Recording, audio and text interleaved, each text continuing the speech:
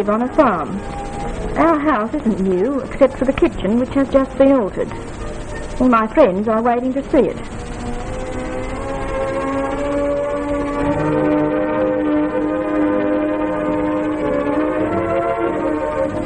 Well, there it is, all new and shiny, with plenty of cupboard space. No scratches yet, but I suppose they'll come in time. Yes, an electric stove. I know I'm lucky, but as electricity is available, it may as well be used. The sink is just the right height for me. No bending means less backache. It's too low for my visitor, but as I do most of the washing up, it was tailored to measure.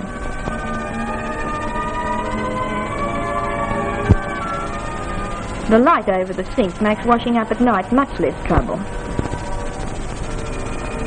Don't those saucepans shine? They hang on pegs at the back of the cupboard and are so easy to reach, as well as being handy to the stove and the sink. Even the lids come to hand easily. There's a light over the stove as well, just the thing for dull days and winter nights. The china cupboard is convenient to the sink. The cups are much easier to get at on that shelf of their own. And those shelves will only hold one set of plates, so there's no waste space. There's something else that wasn't in the old kitchen. A lapboard. It's just the right height when sitting down to work. Most of the things I want are handy too. When cutting sandwiches, the lunch wraps are in the drawer. And if it's at night, there's a light. Fillings are in the cupboard above. The cake and fruit in the cupboard beside me. You see, everything is to hand. Well, now you've seen my kitchen. But if you'd like to know why it was planned this way, just pop in early one morning.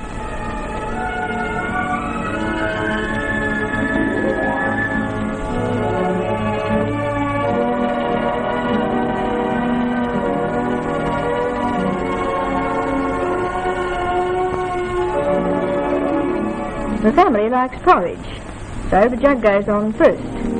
I usually start on Betty's lunch while waiting for the jug to boil. That bread bin's very handy. It's really only a biscuit tin painted, but it keeps the bread fresh.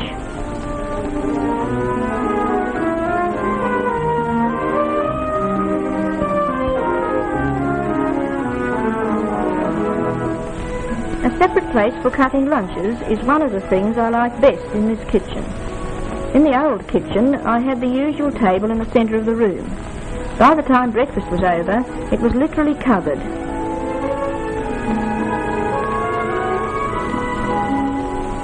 Another reason for calling this my handy kitchen is that there's no need to walk from place to place for things.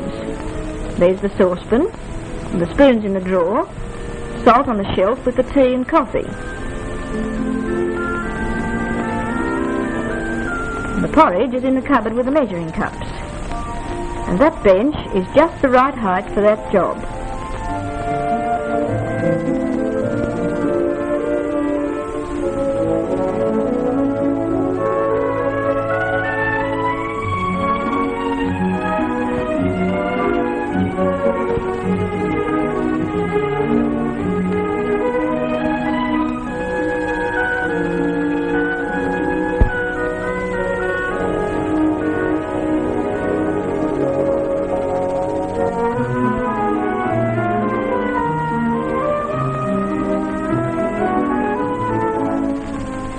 Maybe you think it's extravagant having two cutting boards, but they're not expensive, and that one between the stove and the sink is very handy.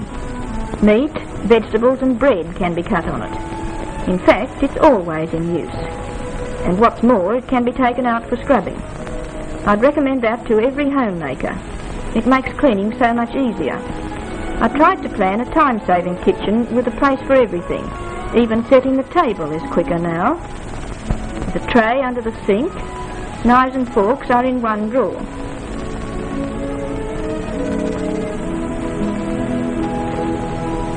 The tablecloth is in the next one. Betty usually does this job for me.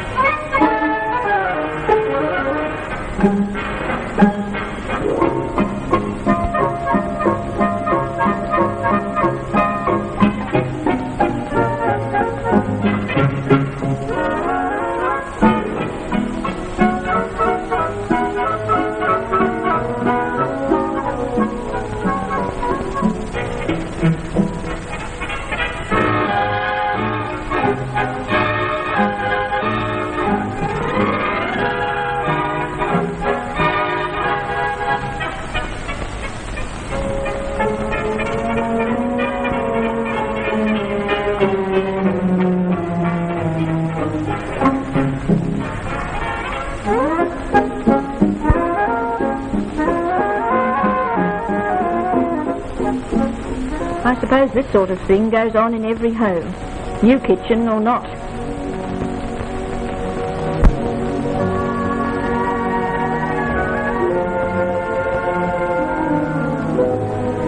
Arthur was off to town that morning, and I was anxious to make an early start with some cooking for the school fete. You know, Arthur doesn't say much, but I know he's thrilled with the whole thing too.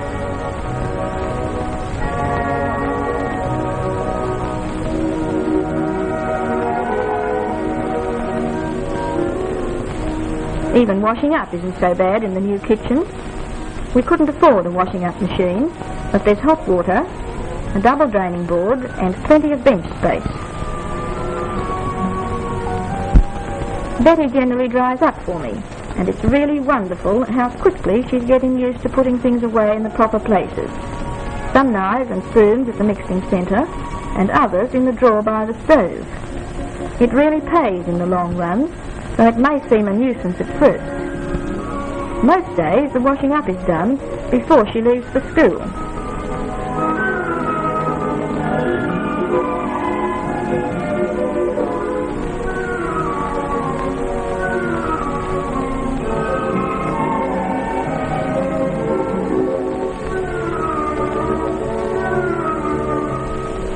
I've been asked to take some scones and a sandwich for the afternoon tea at the school fete. So now you'll see some more reasons for calling this my handy kitchen. A mixing centre is a wonderful idea. Utensils are kept in the cupboards under the bench.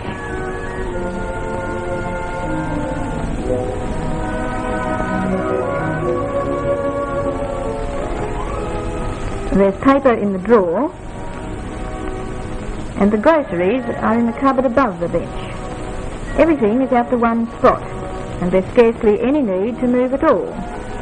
Bad for the figure, I suppose, but far less tiring. I saw some diagrams once showing the distance some women walk to cook a meal. My goodness, I won't forget that in a hurry. When we were planning this kitchen, we made sure not to fall into that trap.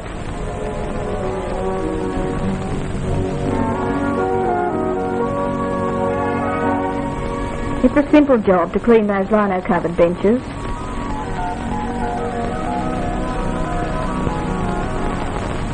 One thing that really delights me is that upright filing arrangement for cake tins.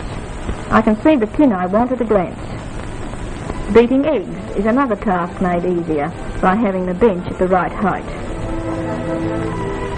Once upon a time, there was no time to go to a school fete, or anywhere else for that matter. Now I can go, and I'm not tired out before I start. And when I think back to that old kitchen,